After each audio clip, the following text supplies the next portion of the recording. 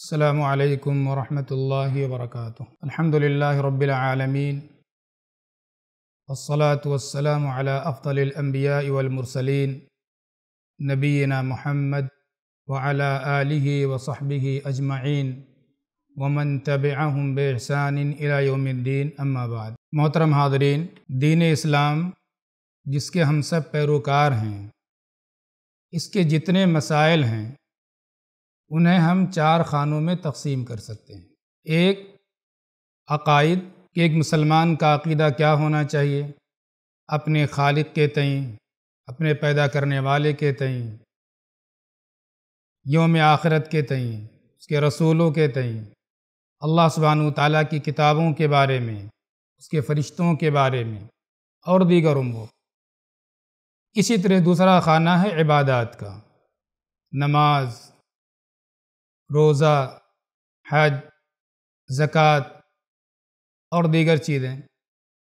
तीसरा खाना है मामलात का। लेन देन ख़रीदो फ़रोख्त निकाह तलाक़ वग़ैरह मसाइल। और चौथा खाना है अखलाक़ियात का। इन चार खानों में पूरे दिन इस्लाम को हम तकसीम कर सकते सारे मसाइल इन्हीं चार खानों में बढ़ जाते हैं। अल्हम्दुलिल्लाह के बारे में काफ़ी लोगों ने खिदमतें की हैं, चाहे वो किताबें लिखने के अतबार से हो, या लोगों के अकायद की असलाह के ताल्लुक़ से हो, अपने अकायद के फ़िक्र के बारे में हो।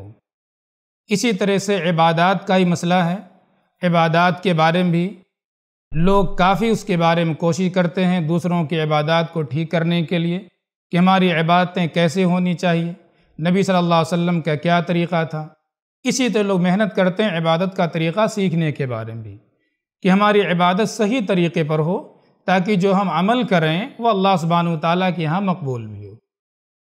उसके बाद जो दो खाने हैं वो है मामलात के और अखलाकियात के, इन दोनों में हमारे यहाँ कोताही पाई जाती है।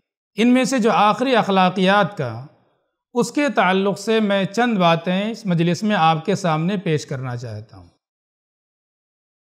अल्लाह सुबहान ताली ने अपने नबी की सिफ़ात का तस्करा करते हुए एक अहम सिफत का तस्करा किया है और फरमाए, नून वमा यस्तरून, मा अंत बिनमत रबी का मजनून व इन लकल अजरन गैर ममनून, व इन कला खलुकिन अजीम। अय मोहम्मद सल्लल्लाहु अलैहि वसल्लम, आप बहुत ही अदीम अखलाक पर फायज हैं। आपके अखलाक बहुत ही आला हैं।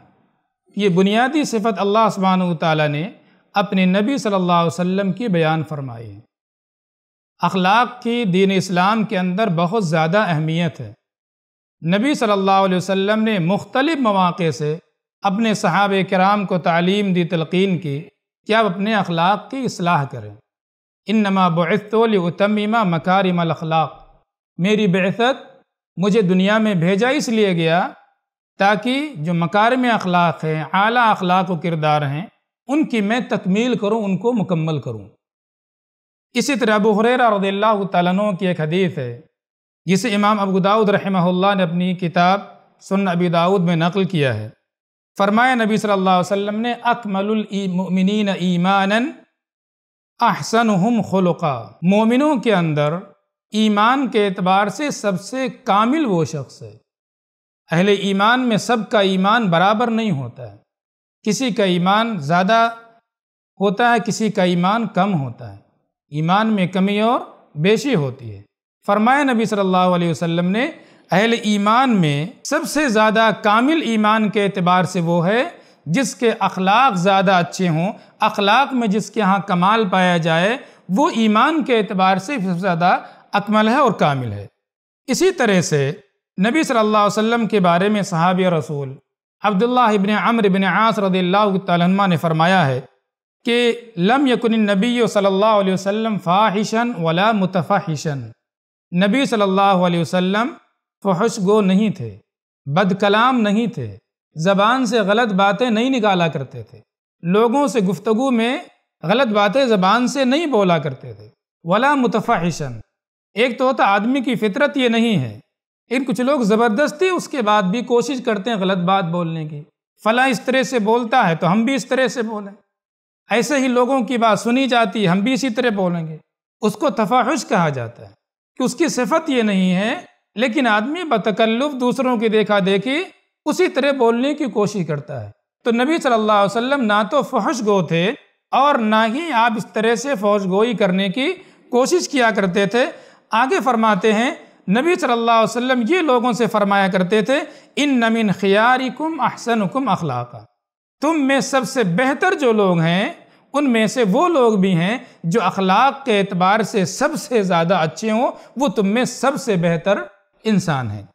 इसी तरह से एक और हदीस अबुदरदा रज़ी तु की फरमाए नबी सल्लल्लाहु अलैहि वसल्लम ने, मा मिन शैइन अफ़ल फिल मीज़ानी मिन हसन खुलुक। क़यामत के दिन जब तराजू लगाया जाएगा, लोगों के अमाल को तोलने के लिए, नेक अमाल को एक तराजू में, बद अमाल को एक तराजू में रखा जाएगा। फरमाया नबी सल्लल्लाहु अलैहि वसल्लम ने, हुसन अखलाक से ज़्यादा भारी चीज़ और कोई मीज़ान के अंदर नहीं होगी। मुख्तलिफ़ चीज़ें जिनका अपना वज़न होता है, बहुत से अदकार है जिनका अपना वज़न होता है। फरमाया नबी सल्लल्लाहु अलैहि वसल्लम ने जो हसन अखलाक है अच्छा किरदार, आला अखलाक जितना ये भारी होगा क़यामत के दिन, इंसान के मीज़ान में, तराजू में, उतनी और कोई चीज़ नहीं होगी। ये इसलिए हदीत आपको सुनाई जा रही हैं, ताकि हमें समझ में आए कि ऐसे नहीं कि अखलाकियात तो यूँ ही कोई चीज़ है चाहे, अपनाएँ, चाहे, ना अपनाएँ। अखलाकियात की बहुत ज़्यादा अहमियत है। इसी तरह, इसी हदीस के अंदर कुछ और इजाफे के साथ और भी साहब कराम ने नकल किया है। चुनानचे एक हदीस के अंदर आता है, मा शई उन अफ़ल मीज़ान फ़ी मीज़ान मिन यौमक़ियामा मिन खुल्क़ हसन व लयुबगदुल्फ़ाहिशल बदी अल्लाह सुबहान ताली ऐसे इंसान को बहुत नापसंद करता है जो फहश को हो, जो बद कलाम हो, जिसकी ज़बान से गालियाँ निकल जाती हों। लोगों से तमीज़ से बात नहीं कर सकता, लोगों से बदजबानी करता है। अल्लाह सुबहान ताली ऐसे इंसान को बिल्कुल पसंद नहीं करता है, बल्कि ऐसा इंसान अल्लाह ताला के यहाँ मबगूज़ होता है। अल्लाह ताला ऐसे लोगों से बोझ रखता है। नफ़रत अल्लाह सुबहान ताली को ऐसे इंसान से, जिस इंसान के यहाँ फहश गोई हो बद कलामी हो और ज़बान से गलत बातें लोगों के बारे में निकालता हो। इसी तरह एक और हदीत के अंदर, यही हदीत नकल की गई है, उसके आखिर में है व इन साहिबा हसनखलुक लयब लोग बिघी दरजत साहिब सोमी वसलात क़यामत के दिन हसन खलुक, मीज़ान के अंदर, तराजू के अंदर बहुत ज़्यादा भारी होगा। आगे उसके अंदर फरमाया कि जो अच्छे अखलाक वाला इंसान है, वो उस अपने अच्छे अखलाक, आला किरदार की वजह से उन लोगों के मकाम तक पहुँच जाता है जो बहुत ज़्यादा नफली सोम का अहतमाम किया करते हैं, जो बहुत ज़्यादा नफली नमाज़ों का अहतमाम किया करते हैं, सलात तहजद का अहतमाम करते हैं, दीगर नवाफिल का अहतमाम करते हैं। फ़राइज़ तो हर एक के लिए ज़रूरी है, हर मुसलमान पर ज़रूरी है। लेकिन कुछ लोग हैं जो नफली इबादत भी अंजाम दे नफली रोज़े रखते हैं, नफली नमाजें पढ़ा करते हैं, जिससे अल्लाह सुबहान ताली का तकर्रब हासिल होता है। फरमाया नबी सल्लल्लाहु अलैहि वसल्लम ने कि बहुत अदीम आमाल नफली इबादत करना, लेकिन हसन खलुक के ज़रिए से एक इंसान के यहाँ फ़राइज़ तो हैं, बहुत ज़्यादा नफली इबादत नहीं उसके पास हैं, लेकिन अपने अच्छे किरदार की वजह से, हसन अखलाक की वजह से उनका मकाम इंसान पा लेता है। तो ये फरमाया नबी सल्लल्लाहु अलैहि वसल्लम ने, हसन खलुक है क्या चीज़? हसन खलुक में क्या चीज़ें आती हैं? इसके लिए मैं एक सलफ़ में से मशहूर मुहदस फ़की अब्दुल्ला मुबारक रहमहुल्लाह का कौल, जो सनन तिरमिदी के अंदर मौजूद है, फरमाते हैं अब्दुल्ला इबन मुबारक रहमहुल्लाह कि हुआ बस्तुलवज व बदलमारूफ व कफ़ुल अदा। हसन खलुक कहा जाता है बस्तुलवज किसी से आपकी मुलाकात हो तो खंदा पेशानी के साथ, हसमुख चेहरे के साथ मिले लोगों से आप। कोई सामने मिल गया तो ऐसे नहीं कि आपका चेहरा देख करके उस वक्त तकलीफ़ हो जाए। क्यों सामने पड़ गए? क्यों हमारी इनसे मुलाकात हो गई? इनसे मुलाकात ना हुई होती तो अच्छा था। ऐसा नहीं होना चाहिए। किसी से आपसे का सामना हो जाए, किसी से मुलाकात हो जाए तो खंदा पेशानी के साथ। हँसते हुए चेहरे के साथ आप मिलें। जरीर इबन अब्दुल्ला बजरी रज़ी फरमाते हैं कि नबी सल्लल्लाहु अलैहि वसल्लम मारआनी क़त्तो इल्ला तबस्सम फ़ी वजही। जब कभी नबी सल्लल्लाहु अलैहि वसल्लम ने मुझे देखा, मुझे देख करके मुस्कुराए नबी सल्लल्लाहु अलैहि वसल्लम। ये सिर्फ़ उन्हीं के साथ नहीं था। तमाम साहब कराम के साथ आपका यही मामूल था, किसी से मुलाकात करते थे आप तो हंस करके मुलाकात करते थे। हम हंस करके मुलाकात करते हैं, एक इंसान के दिल में खुशी उससे हासिल होती है। इंसान तकलीफ़ में अगर पहले रहा हो तो हमारी हँसी की वजह से और खंदा पेशानी से मुलाकात की वजह से उसकी तकलीफ़ ज़ायल हो जाती है। तो उन्होंने फरमाया कि बस्तुलवज किसी से हम मिलें तो खंदा पेशानी के साथ मिलें आप। दूसरे उन्होंने कहा बदलमारूफ़ हमारे पास जो भी खैर मौजूद है, चाहे वो मादी खैर मौजूद हो, चाहे वो मानवी खैर मौजूद हो, हर तरह का मरूफ खैर हम लोगों के लिए पेश करें। जो भी हमारे पास मादी चीज़ें मौजूद हैं, जिनका अमवाल से ताल्लुक़ हो, मानवी चीज़ें मौजूद हैं, जो भी खैर आप दूसरों को पहुँचा सकते हैं, वो लोगों के लिए आप पेश करें। तीसरे बताया, वकफ़ुल अदा, आपके ज़रिए से किसी को तकलीफ़ नहीं पहुँचना चाहिए। आपके ज़रिए से किसी को तकलीफ़ नहीं पहुँचना चाहिए, ना आपकी ज़बान से किसी को तकलीफ़ पहुँचे, ना आपके हाथ से किसी को तकलीफ़ पहुँचे। किसी ज़रिए से भी इंसान को आपसे तकलीफ़ नहीं पहुँचना चाहिए। तो ये तीन चीज़ें हैं जो हसन खलूक की बुनियादें हैं। कि आप लोगों से खनदारोई से मिलें आप? लोगों के लिए जो भी आपसे खैर हो सके, वो लोगों के लिए आप पेश करें। इसी तरह लोगों को आपसे तकलीफ़ किसी तरह की भी नहीं पहुंचनी चाहिए। अब हसन खलुक अच्छा किरदार किन लोगों के अंदर होना चाहिए? कौन लोग इसके मुखातब हैं? ज़ाहिर हसन अखलाक किसी एक इंसान के लिए नहीं है।